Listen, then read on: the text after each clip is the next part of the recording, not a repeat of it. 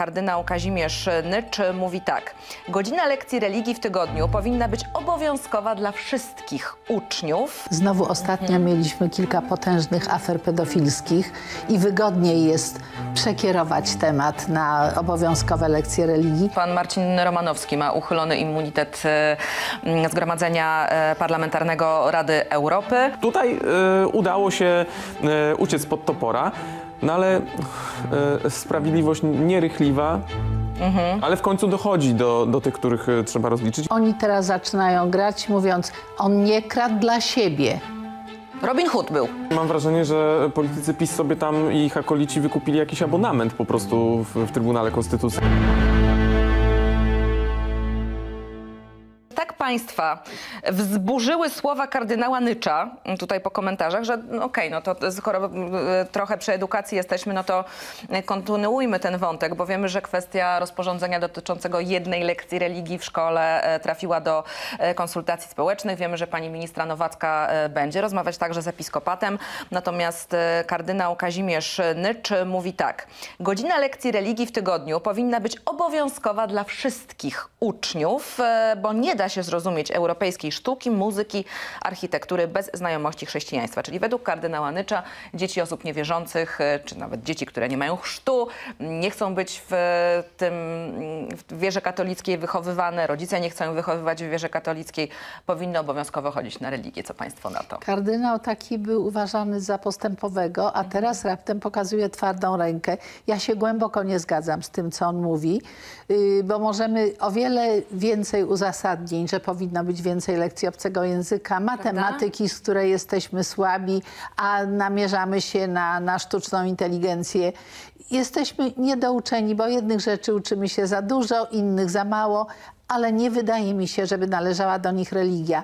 O tym, y, jakie są początki chrześcijaństwa, y, skąd się brała y, sztuka, równie dobrze można mówić na etyce i pewnie się I mówi. historii sztuki na przykład, Ależ która też jest jako często do- e, Także nie tędy droga. Y, Myślę, że wielu ludzi się wkurzy na taką wypowiedź. No właśnie, najlepiej to wróży przed konsultacjami społecznymi, szczególnie tymi właśnie z episkopatem, panie redaktorze.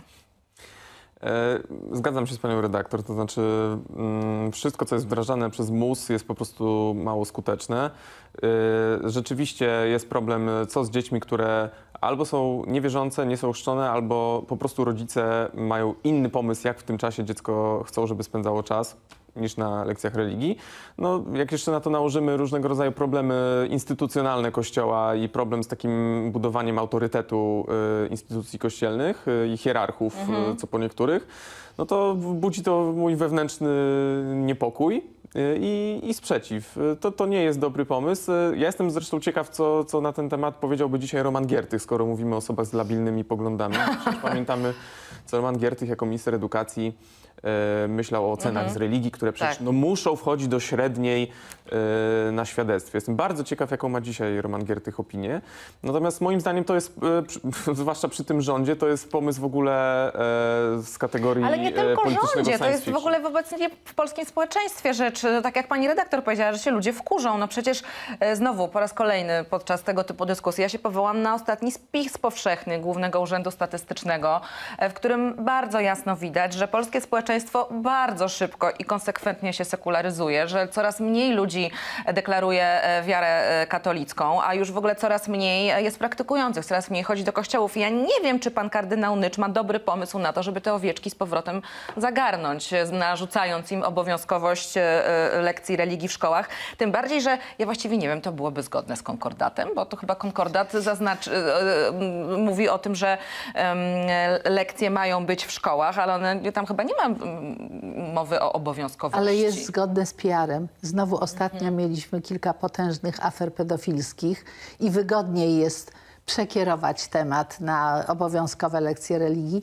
I chciałam zauważyć tylko jedną rzecz. Niekiedy poziom katechetów jest tak żałosny, że ja nie wiem, czy one, y, one oni dużo wiedzą o sztuce, y, o etyce. Także większy kontakt niedouczonych ludzi z dziećmi nie będzie kontaktem dobrym.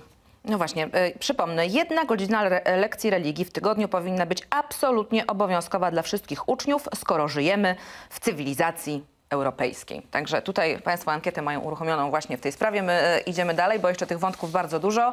E, No to może skoro już tak wracamy z wątku edukacyjno-alkoholowego do kryminalnego, pan Marcin Romanowski ma uchylony immunitet e, Zgromadzenia Parlamentarnego Rady Europy. No i nie wiadomo, gdzie jest pan Romanowski. Pani redaktor, będzie znowu No list tak. kolejny trzeba wystawiać? Jak pani sądzi? Nie wiem, myślę, że on się y, w końcu Znajdzie. znajdzie. Tylko, że on sam wiedział, że jemu ten immunitet y, uchylą, ponieważ nie pokazał się ani w Strasburgu, ani w tym czasie y, nie był w naszym Sejmie. Czyli nie wypełnia obowiązków, za które nie wypełnia obowiązków. Jego aktywność w Radzie Europy była żadna, więc on sam doskonale wiedział, to, to służyło tylko przedłużeniu sprawy. No a teraz jest, mają przykryć y, z kolei to, że wniosek, który był wypisany o uchylenie mu immunitetu, był wypisany przez prokuratora, który nie jest Ale prokuratorem. był skierowany przez Adama Bodnara jako prokuratora generalnego, więc właściwie to... No ale to, to wszystko tak, ja ma rozumiem, że pan mecenas Lewandowski będzie się każdego I kruczka myślę, że łapał. w końcu dojdzie do tego, że, że będzie miał zarzuty i proces i cała ta sprawa nabierze trochę dynamiki, ponieważ ona zaczyna już być męcząca. Wielu ludziom się wydaje, że to można szybciej, można łatwiej Mhm. i to jest to oczekiwanie. No, na tyle złego, yy, co oni zrobili, oni muszą zostać rozliczeni. Naprawdę, bo następcy zrobią to samo. Tomku? E, No tak, tutaj e, rzeczywiście ten obrazek e, zarysowany przez panią redaktor on jest niepełny, ponieważ doszliśmy do sytuacji, w której był immunitet zagraniczny, który właśnie zniknął, ale jest immunitet krajowy, który wcześniej zniknął, a teraz magicznie wrócił, pojawił się. Znaczy pojawił się według e, pana mamy Romanowskiego jego pełnomocnika oraz polityków PiSu. to jest niesamowite po prostu momentami już, jak się łapią różnych kruczków i... i... No ale okej, no taka rola jest też e, obrońcy pana Romanowskiego, żeby się No tak. różnych metod i no jak widać do tej pory był skuteczny, bo e, to, co ugrał do tej pory pan Romanowski przez tę taktykę, to jest no, to, że kupił sobie trochę czasu i uniknął tymczasowego aresztu i prawdopodobnie go uniknie, no bo sam Adam Bodnar przyznaje, że ch- chyba tego wniosku no, nie ma i nie będzie o Znaczy, mówisz, to zależy tymczasowy od- areszt, bo nie od można dwa razy za to samo tak. wnioskować o tymczasowy areszt, więc tutaj e, udało się e, uciec pod topora, no ale e, sprawiedliwość nierychliwa, ale w końcu dochodzi do, do tych, których e, trzeba rozliczyć. I wydaje mi się, że e, kto jak to, ale Marcin Romanowski e, jest w awangardzie tych, którzy powinni być rozliczeni. Nawet moim zdaniem bardziej niż pan Woś. Bo e, pan Woś, e, główny zarzut wobec niego to jest e, to, w jaki sposób... Złożenie podpisu. kupiono Pegasusa i tak dalej, i tak dalej. No tutaj mamy dużo bardziej taką bulwersującą kwestię, bo rzeczywiście mówimy o kimś, kto zarządzał dystrybucją środków z Funduszu Sprawiedliwości. Przecież nawet Zbigniew Ziobro w pewnym momencie bohatersko stwierdził, że to nie on podejmował decyzję, tylko jego podwładni, tak? Więc ja myślę, że powinni być mu bardzo wdzięczni za tamten słynny komentarz. No i te taśmy, na których wypowiada się pan Marcin Romanowski. Pamiętaj, jeżeli cię złapią za rękę, mów, że to nie twoja ręka. To też nam wiele departamentu. mówi. Tak. No to jest po prostu kompromitujące e, i e, nie da się tego e, bronić. No oczywiście pytanie jest, na ile to jest rozliczalne prawnie.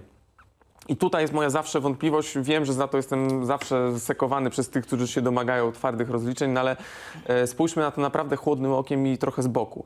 E, To, co robili, e, e, no, generalnie Zjednoczona Prawica miała takie modus operandi, ale zwłaszcza ziobryści w przypadku Funduszu Sprawiedliwości, to to, że zanim e, dystrybuowali pieniądze w taki, a nie inny sposób, żeby one trafiały w konkretne miejsca, żeby to były celowane dotacje, najlepiej bez konkursu, bez trybu i e, właściwie do byle kogo, o ile to jest nasz e, byle ktoś, to obudowywali to prawnie. Czyli mamy to słynne rozporządzenie, słynny paragraf 11 właśnie, który o tym mówił, że nie trzeba żadnych konkursów, właściwie minister decyduje ciach, idą pieniądze. I tutaj jest kwestia, czy uda się to przed sądem wykazać, że było to na przykład wykroczenie poza delegację ustawową, że tutaj e, no nie, nie, nie może być tak, że możemy sobie przyjąć dowolny przepis e, i się My nim też możemy sobie usiąść, napisać E, ustawę, Tylko prawda? pytanie To- oczywiście, czy, czy, czy sąd przyjmie taką argumentację. No, sądy, jak wiemy, w dzisiejszych czasach są instancją czy instytucją bardzo niepewną. Nawet do tego stopnia, że nie wiadomo, kto tam będzie orzekał, czy czasem to nie będzie jakiś neosędzia, czy paleo sędzia, więc to już jest w ogóle dys- dyskusja na, na inny etap tej sprawy. Ale na pewno jest tak, że Marcin Romanowski jest w awangardzie tych, którzy powinni odpowiedzieć na, e, za, za te kwestie, które się działy w Funduszu Sprawiedliwości. To jest bez dwóch zdań. Ale są inne argumenty, o wiele poważniejsze niż ten y, przepis pisany pod siebie. Oni teraz zaczynają grać, mówiąc, on nie kradł dla siebie. Robin Hood był po prostu. Nie. Nie? Nie. On grał dla swojej partii. Co to znaczy? To tak? znaczy, że ekipa, która rządzi, będzie sobie robiła takie przepisy, które potem zagwarantują jej wygranie y, wyborów y, kolejnych, y, ponieważ oni będą opłacali, będzie się szerzyła korupcja wśród, w środowiskach, które mogą się odwdzięczyć własnymi głosami. To znaczy, że taka partia, która będzie takie przepisy robić, nigdy nie straci władzy. I o to chodziło PiSowi i Solidarnej No Polsce. dobrze, ale oczywiście słowa oburzenia e, zarówno pana Romanowskiego, jak i jego kolegów z Prawa i Sprawiedliwości pod adresem e, członków e, Rady Europy, bo miażdżącą większością, 111 w ogóle brało udział w posiedzeniu, 85 zagłosowało za uchyleniem tego immunitetu. No i Rada Europy była dobra, dopóki można było się do immunitetu tejże Rady odwoływać. Teraz już e, jest niedobra, bo uchyliła ten immunitet, nie zważając na to na przykład, że pan Romanowski Taka jest oczywiście narracja. Nie zdążył zapoznać się z wnioskiem o uchylenie i przez to bronić się podczas komisji. No tylko pan Romanowski bodajże od ki- kilku miesięcy już wie, y, czego ten wniosek e, dotyczy. No ale y, mniejsza o to. To jest też takie... no bardzo instrumentalne wykorzystywanie instytucji europejskich, bo y, PiS a propos labilności poglądów jest też labilny w sprawie instytucji europejskich y, ad hoc chyba. Jeśli może coś zrobić dobrego dla nas instytucja Tak. unijna, to my ją szanujemy. Jeśli nie, to w ogóle my walczymy o suwerenność Polski Mhm.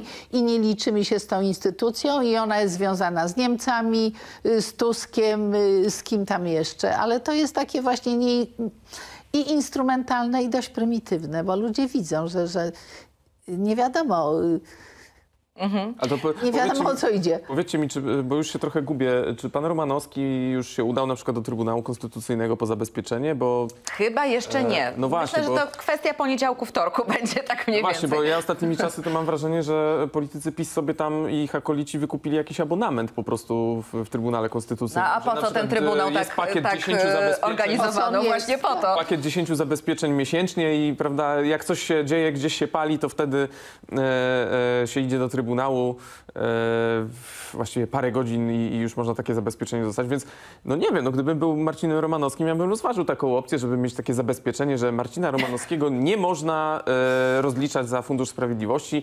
Nie wiem, może też jakieś hurtowe zabezpieczenie by się przydało, żeby w ogóle polityków Solidarnej, przepraszam, suwerennej Polski, żeby nie można było rozliczać za No i Fundusz Tak z założenia. Brawo. Wpiszmy to do konstytucji w jakby ogóle. Przetnijmy temat i już w ogóle Tak. zo- zostawmy to, tak?